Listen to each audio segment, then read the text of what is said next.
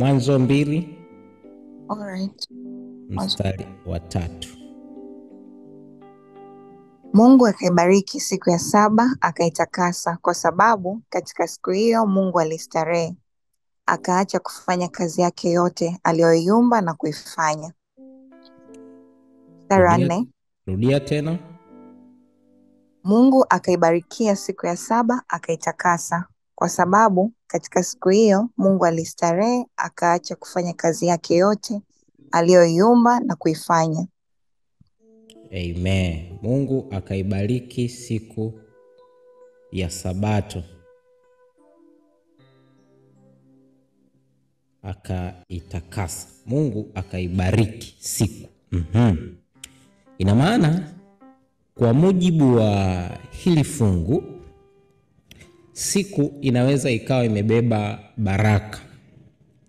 Mungu akaibariki siku ya Sabato akaitakasa. Hapo kwenye kuacha kufanya kazi tuachane napo, ila tubebe hapa, Mungu akaibariki siku alafu akaitakasa siku. Mhm. Siku inaweza ikawa imebarikiwa. Watu wengi wanadhani mbarikiwa ni mtu tu, lakini asubuhi ya leo natamani ni kuonyeshe namna gani pia uh, siku ambavyo inaweza ikawa ina baraka. Siku inaweza ikawa imebarikiwa. mm -hmm.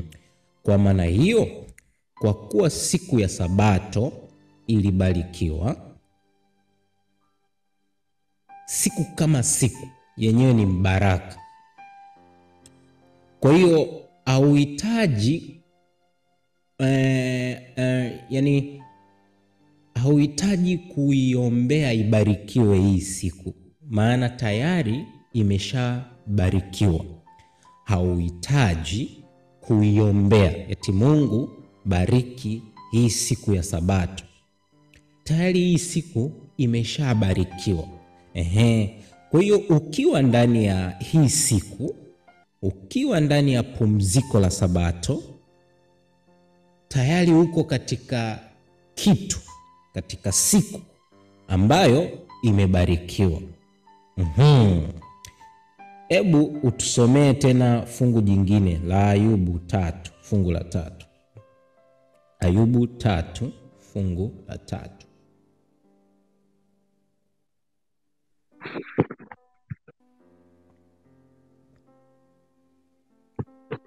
Ayubu Ayubu tatu tatu sura mstari wa tatu. Ayubu tatu mstari wa tatu naipotelee mbali ile siku niliyozaliwa mimi mm -hmm. na ule usiku uliousema -hmm. mtoto wa mume ametungishwa mimba. mm -hmm. Siku hiyo na iwe giza, mm -hmm. Mungu asiangalie toka juu, wala mwanga usiangazie. mhm, Ishikwe na giza, giza tupu mm -hmm. kuwa yake, wingu nalikaa juu yake. Chochote kifa, kifanyacho siku kuwa giza na kiitishe. mhm. Tena usiku huo na ushikwe na giza kuu, usihesabiwe katika siku za mwaka, wala kutiwa katika hesabu ya miezi. Tazama, usiku Mhm. huo na uwe sasa, wala mm -hmm. isiwe ndani yake sauti ya shangwe. Mhm, Na waulaani hao waulaanio mchana, mm -hmm. wala walio tayari kumwamsha huyo kumwa- kumwamsha huyo Lewiathani. Mm. Nyota za mapambazuko yake bas, na ziwe giza. bas, bas. Haya, asante sana. Siku ya kwanza, kwa sababu uh, platform yetu ni shirikishi, na wakaribisha katika kuchati, kuandika mafungu hapo na wale ambao tumelala ni waombe kabisa tuamke ili tuende pam- pamoja vizuri, maana somo la leo ni fupi sana, lakini pia lina- linahitaji umakini. Siku ya kwanza tumeona Mungu alibariki ile siku ya Sabato kwenye Mwanzo mbili fungu la tatu. Siku ya pili tumeona kwenye Ayubu tatu inatolewa laana kwa siku. Unajua watu wengi wana, wana, wana, wanaweza wasijue kwamba vitu vinaweza vikabeba baraka au laana. Nitakukumbusha tu, hata ardhi Mungu aliilaani akasema, na ilaaniwe ardhi kwa sababu ya mwanaume. Ina maana kitu kinaweza kikabeba baraka, kitu kinaweza kikabeba baraka. Mazingira yanaweza yakabeba laana, mazingira yanaweza yakabeba laana, siku inaweza ikabeba laana, siku inaweza ikabeba baraka. Sasa tumeona siku ya kwanza ya Sabato ambavyo imebeba baraka.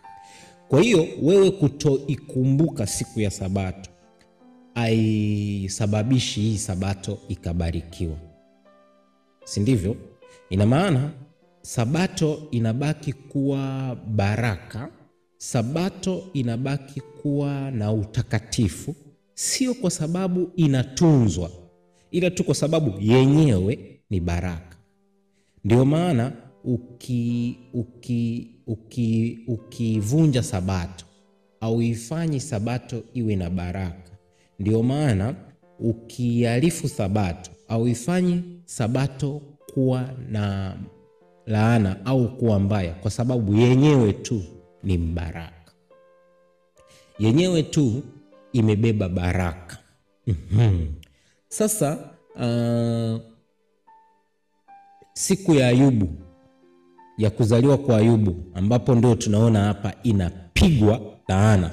Siku ya kuzaliwa kwa Ayubu tunaona inapigwa laana. Ina maana sasa tumebaki hapo, siku inaweza ikabeba laana au baraka. Siku inaweza ikabeba laana au baraka, na ukiwa ndani ya Sabato ukaitakasa sasa, kwa kuwa uko siku yenye baraka, hii siku tu yenyewe inakusaidia kubarikiwa. Narudia tena, kwa kuwa siku ya Sabato inaone, inaonekana imebarikiwa, na hivyo wewe ukiitakasa siku tu yenyewe, siku yaani, achana na Mungu, siku tu yenyewe inakubariki kwa sababu uko ndani ya siku yenye baraka. Yani ni sawasawa uingie kwenye gari ambalo limebarikiwa, uingie ndani ya gari ambalo limebarikiwa, yani gari lenyewe linakubariki. Mm-hmm. Sawa. Kwa maana hiyo sasa, leo ninatamani tujifunze baraka ndani ya siku ya kwanza ya juma. Eh, watu wengi tunafahamu baraka ndani ya siku ya Sabato, lakini siku zote za wiki zina baraka zake, zina baraka zake. Leo tutaangalia katika mtazamo chanya wa siku ya kwanza ya juma. Siku zote hizi zina baraka zake. Haya, tusome Mwanzo, Mwanzo moja fungu la kwanza mpaka fungu la tatu. Mwanzo moja fungu la kwanza mpaka la tatu Ndio. inasema, Mm. hapo mwanzo Mungu aliziumba mbingu na nchi, Mhm. nayo nchi ilikuwa ukiwa tena mm-hmm. utupu, mm-hmm. na giza lilikuwa juu ya uso wa vilindi vya maji. mm-hmm. Roho ya Mungu ikatulia juu ya uso wa maji. mm-hmm. Mungu akasema, iwe mm-hmm. nuru, ikawa nuru. mm-hmm. Mungu Mm. akaona nuru mm-hmm.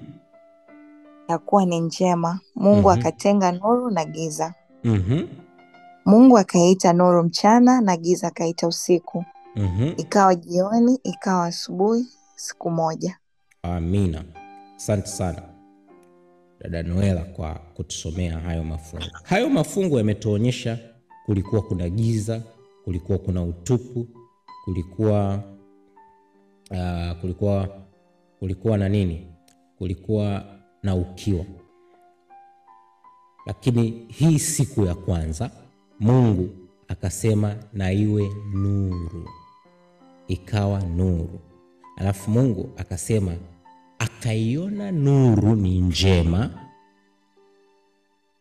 akaitenga na giza. Ikawa ni siku ya kwanza. Siku ya kwanza, baraka ya siku ya kwanza ni nuru, ni nuru ambayo hii nuru kwa lugha ya Kiyunani inaitwa fotizo,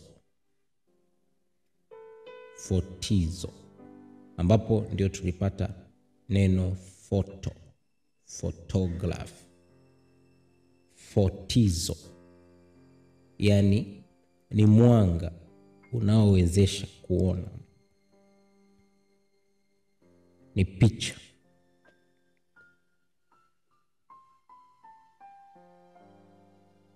Baraka ndani ya siku ya kwanza ni nuru. Siku ya kwanza haipatani na giza, na ndiyo maana Mungu akaiweka hii siku ya kwanza, ili kama kuna siku nyingine zilizopita zilikuwa mbaya, basi siku ya kwanza na aseme nuru kwenye maisha yetu. Kwa kuwa siku ya kwanza ina nuru, ninakuombea dada Eve, Mungu na aseme nuru kwenye maisha yako. Ninakuombea kaka Katemi, Mungu na aseme nuru kwenye maisha yako. Ninakuombea dada Naomi, Mungu na aseme nuru kwenye maisha yako. Nuru ni baraka ya siku ya kwanza. Mm-hmm.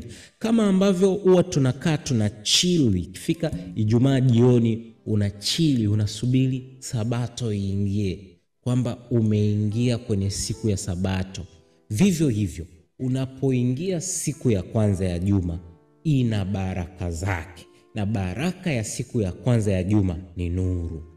Iwapo kwenye ndoa hakuna nuru, ndiyo siku sasa ya kumwomba Mungu na aseme nuru. Iwapo kwenye kazi zako hakuna nuru, ndiyo siku sasa ya kuomba nuru. Yaani ni siku ambayo haipatani na giza. mm-hmm. Nitakukumbusha tena, nimekuambia hii somo linahitaji umakini mm-hmm. kwa sababu nafahamu Waadventista wengi wanaiona siku ya Jumapili kama kama laana hivi eh? alama ya mnyama Mm-mm. Sio vitu vyote ni vina, vina upande wa hasi. Kila kitu kina upande chanya na upande mzuri, kama ambavyo niliwafundisha namna ya kuomba asubuhi, namna ya kuomba jioni, namna ya kuomba usiku. Vivyo hivyo sasa ndio ninachowafundisha namna ya kuomba Jumapili, na kwa neema ya Mungu Jumapili ijayo tunaweza tukajifunza namna ya kuomba Jumatatu, namna ya kuomba Jumanne mpaka kuzimaliza hizi siku zote saba za wiki. Sasa Jumapili tumeona jambo la kwanza, tunaweza tukaandika hapo na ukalichukua kwenye akili yako. Jumapili unapoiona Jumapili, ehe, kama Sabato unapoiona ina utakaso, kama Sabato unapoiona ina baraka, unapoiona Jumapili ona nini? Ona nuru, maana ni siku ya nuru.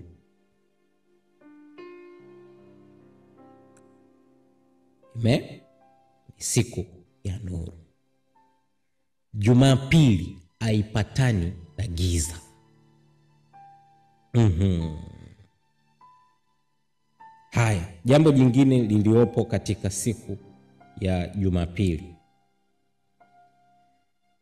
jambo jingine liliopo katika siku ya Jumapili, Luka 18 fungu la 33.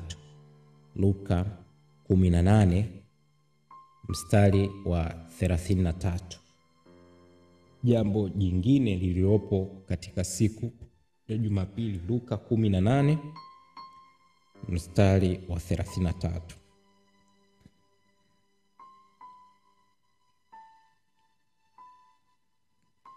Luka kumi na nane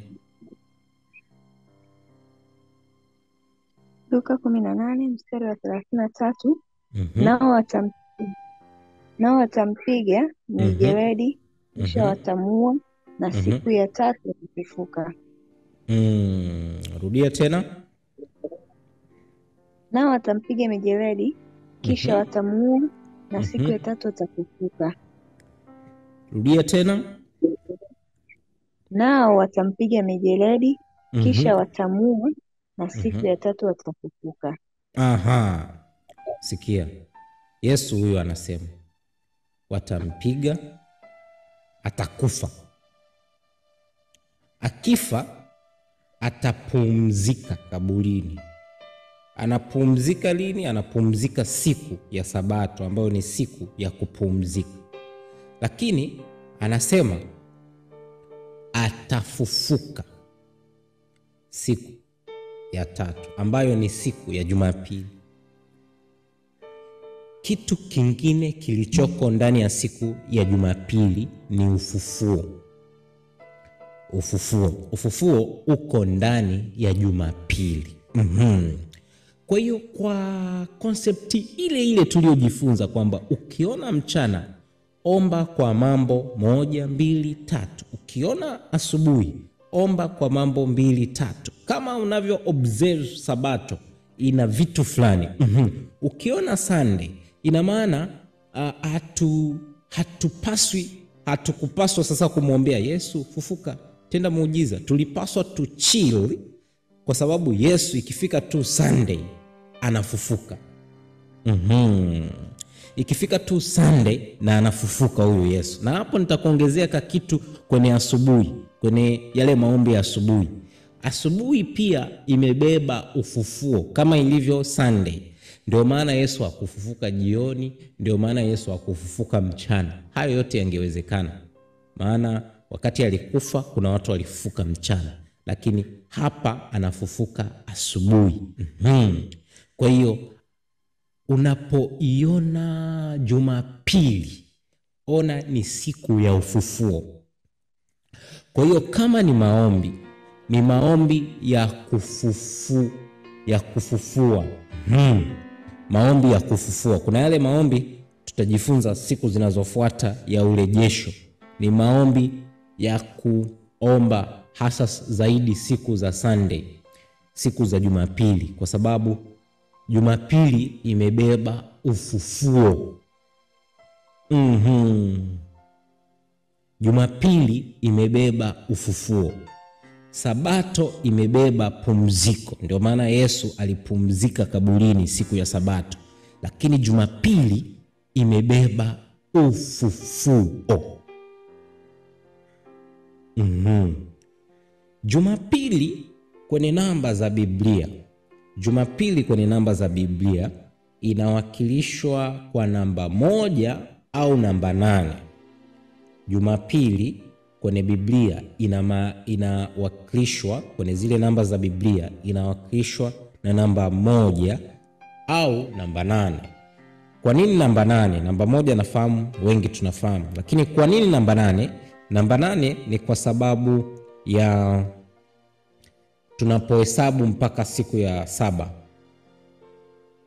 tunapohesabu moja, mbili, tatu, nne, tano, sita, saba. Tunapofika saba, siku zinakuwa zimeisha, zimekamilika. Sasa ile nane ndiyo tena ya kwanza. Kwa hiyo tunapohesabu mpaka nane, tumemaliza saba, ile nane inawakilisha Jumapili sawasawa na moja. Ndiyo utagundua sasa kwenye kisa cha Nuhu ambacho tunaendelea nacho YouTube, tutafika hiyo sehemu kwa nini Mungu aliacha watu nane? Namba nane ambayo kwenye Biblia, namba nane ambayo inawakilisha Jumapili au namba nane inawakilisha kitu kinaitwa mianzo mipya. Ndio maana Mungu akaanza na watu wanane akionyesha kuanza upya. Kwa hiyo Jumapili ni namba moja au namba nane ambayo namba nane ina, ina, inamaanisha mianzo mipya. Ninakuombea Grace, Mungu akupe mianzo mipya katika maisha yako. Ninakuombea Dr. Fadhili, Mungu akupe mianzo mipya, kwa sababu tuko kwenye siku yenye mianzo mipya. Ninakuombea dada Delila, Mungu akupe mianzo mipya. Ninakuombea ninakuombea mzee Manumbu, Mungu akupe mianzo mipya, kwa sababu ni siku ya mianzo mipya. Jumapili, Matendo ishirini, Matendo ya Mitume ishirini fungu la saba mpaka kumi.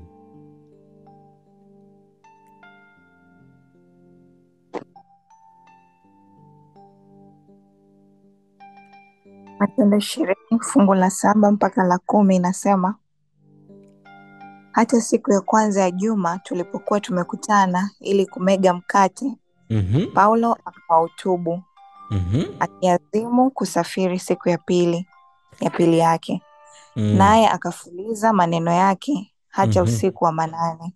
Amen. Mhm. Palikuwa na taa nyingi katika orofa ile tulipokuwa tunakusanyika. Palikuwa na taa nyingi. mm-hmm. Tunakumbuka somo letu la kwanza kuhusiana na Jumapili, ni siku ya nuru, ni siku haipatani na giza. Mhm. Kijana mmoja jina lake Eutiko alikuwa ameketi dirishani, akalemewa na usingizi sana. Hata Paulo alipoendelea sana kuhubiri, akazidiwa na usingizi wake, akaanguka toka orofani ya tatu, akainuliwa amekwisha kufa. mm-hmm. Fungu la kumi. mm-hmm. Paulo akashuka akamwangukia, akamkumbatia, akasema, Mm. msifanye hatia, maana mm. uzima wake ungalimo ndani yake. mm-hmm. Akapanda juu tena, akamega mkate, akala, akazidi kuongea nao hata alfajiri. Mhm. Ndipo akaenda zake. Ah, umeluka hapo, umeluka, umeluka. Paulo. Paulo akashuka akamwangukia, mm-hmm. akamkumbatia, akasema, Mhm. msifanye ghasia, maana uzima wake ungalimo ndani yake. mm-hmm. Akapanda juu tena, mm-hmm. akamega mkate, akala, akazidi kuongea nao hata mm-hmm. alfajiri. ndipo mm-hmm. akaenda zake. mm-hmm. Wakamleta yule kijana yu mzima, Oh. akafarijika faraja kubwa sana. Amen. Jumapili haipatani na kifo. Amen. Jumapili haipatani na mauti. Jumapili ni siku ya ufufuo. Ninaposema siku ya ufufuo, simaanishi tu ufufuo wa mwili, ufufuo wa akili, ufufuo wa uchumi, ufufuo wa mambo ya kiroho, ufufuo kwa sababu ni mianzo mipya. Kila siku ina kitu chake katika ulimwengu wa roho. Kwa wale ambao wajazoea hiyo sentesi, ulimwengu wa kibiblia, kila siku, kila saa ina kitu chake. Kila siku na kila saa ina kitu chake kwenye ulimwengu wa roho. Lakini mambo yaliyopo katika Jumapili, jambo la kwanza, Jumapili haipatani na giza ni siku ya nuru. Jambo jingine, Jumapili haipatani na mauti, ni siku ya ufufuo. Yawezekana katikati yetu tunaagiza sehemu moja au sehemu nyingine. Leo ndio siku njema ya kumwomba Mungu atiishe nuru, kwa sababu tu siku ya leo ni siku ya nuru. Lakini pia yawezekana maisha yetu katika nyanja tofauti tofauti yalikuwa yamekwisha kufa. Leo ni siku njema ya kuomba Bwana afanye ufufuo na jina lake likapate kutukuzwa, kwa sababu siku tu ya leo ni siku ya ufufuo. Kila siku ina kitu ndani yake, kila siku kila siku, hata Jumatatu, hata Jumanne, kila siku ina kitu chake. Imagine uko kwenye ndani ya siku ambayo imelaaniwa kama Ayubu tatu fungu la tatu ilivyosema, ilaaniwe ile siku. mm-hmm. Ina maana itoweshwe ile siku. Ina maana ukiwa ndani ya siku kuna athari ambazo unaweza ukazipata ziwe chanya au positive, ila leo natamani tuchukue haya mambo chanya yaliyopo katika siku ya Jumapili, na hivyo ndivyo ambavyo tutakuwa tukiomba. Ukiiona Jumapili, ona nuru. Ukiona Jumapili, ona ufufuo, ona siku ya kufufuliwa tena, ona mianzo mipya, maana ni new beginning, ni siku ya mianzo mipya. Na Mungu na atusaidie, Mungu atusaidie sote hapa, ayawekee nuru maisha yetu na ayafufue maisha yetu.